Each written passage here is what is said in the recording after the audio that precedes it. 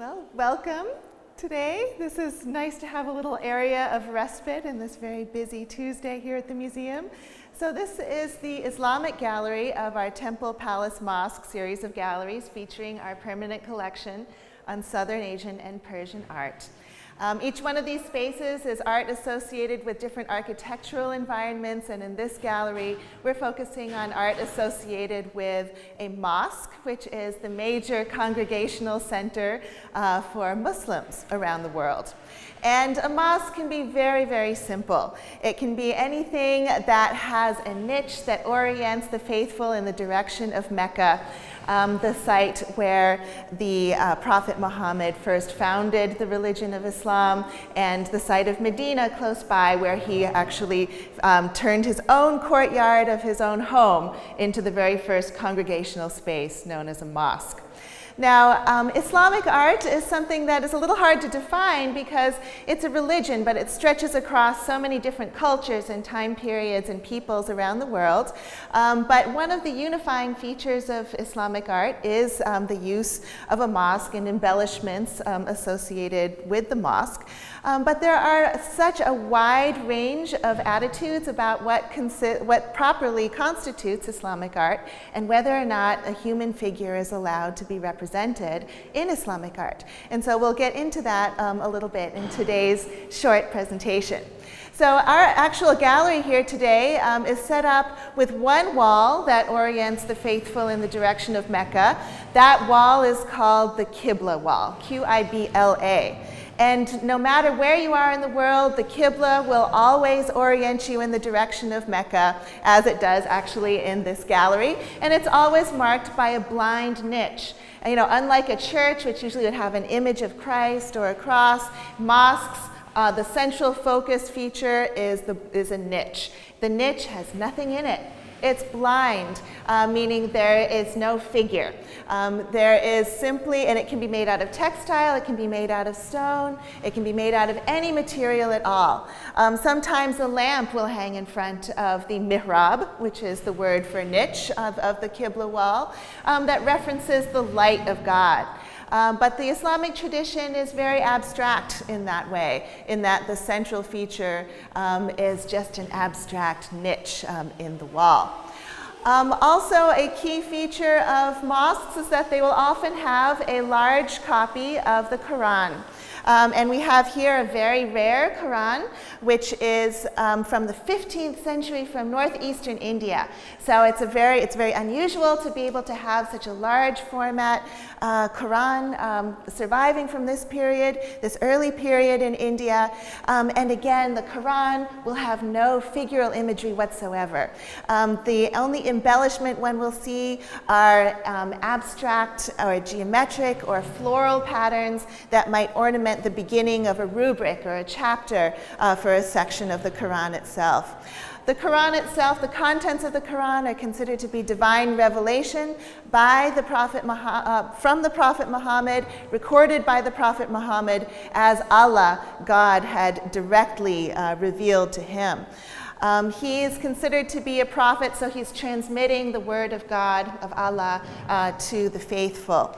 Um, and so calligraphy came about as being an extremely important art form in the Islamic world, and certainly considered to be the highest art form um, among uh, Muslim faithful, whether or not they consider figural imagery to be um, acceptable. Um, so these two pages uh, from the Quran um, are also uh, written with commentary in the borders because actually the word of Allah and only in gold uh, the name of Allah or God is written in the Quran here. And um, the word of Allah is actually a little hard to understand. Um, the, the, the, lines of text and the translations even are a bit cryptic. And so there are a lot of interpretations by holy men that followed Muhammad um, in time thereafter, um, explaining what the, what the meaning of the Quran is. And it's in these commentaries, we see some written in the borders, but then there are other texts that are extended commentaries and explanations on the Quran, sometimes, you know, they can differ quite widely in their understanding. And so some groups follow different traditions, and some are very, very strict orthodox interpretations of the Quran, and others are rather loose and liberal. So we get a widely varying range of interpretations of Islamic law. Um, some of the more liberal forms, uh, or most liberal um, interpretations of the Quran, will allow a figural painting um, or even figural depictions. In this gallery, we see over here a small tile that would have been from a domestic site, from, but definitely from an Islamic context where there are human figures, princes and princesses in a garden with a romantic encounter, um, where it's e they're even shown in relief.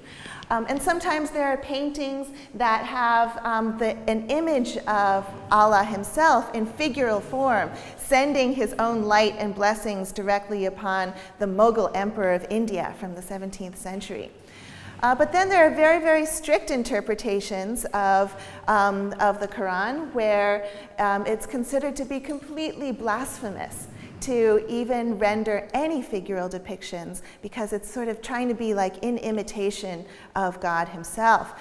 Um, and then there are more kind of middling interpretations that say, well, as long as they are simply two dimensional depictions that don't cast a shadow, there's no problem. And it's perfectly fine to have depictions of figures um, in paintings and albums um, that are part of a courtly connoisseurship environment.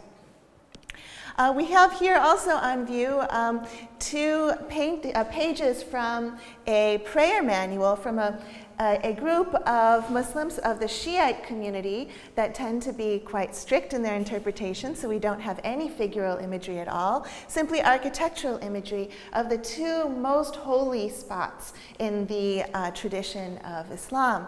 Uh, there's the Kaaba itself. The Kaaba is a black stone cubic architectural temple that belonged to pre-Islamic Arab followers of a divinity known as Baal.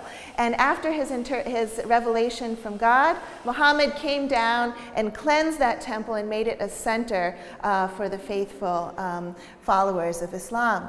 Um, and so the pilgrimage that, uh, that all Muslims are enjoined to take at least once in their lifetimes, the jihad, the holy pilgrimage, is to the Kaaba in Mecca in Saudi Arabia.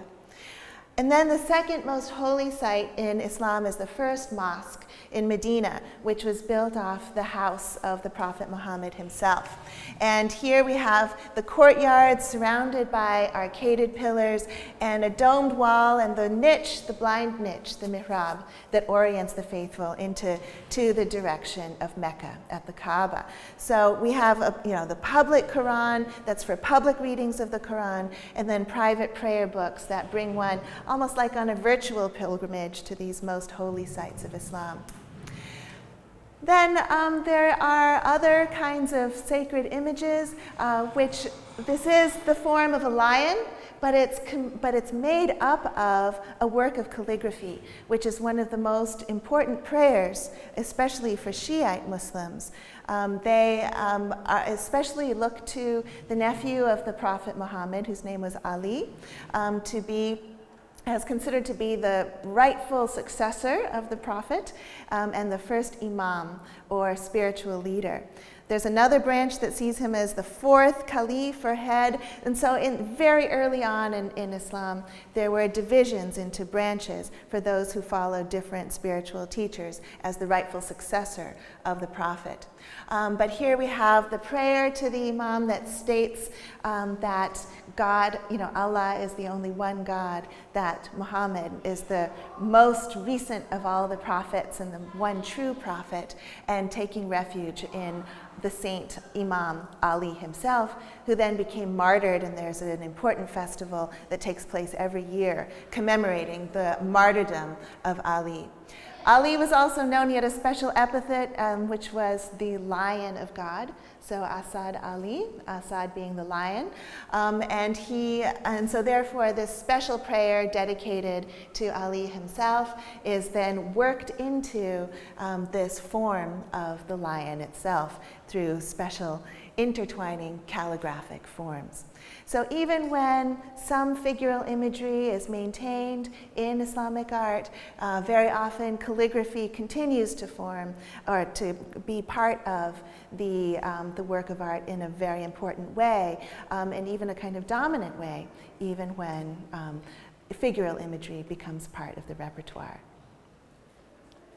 Thank you very much for coming today.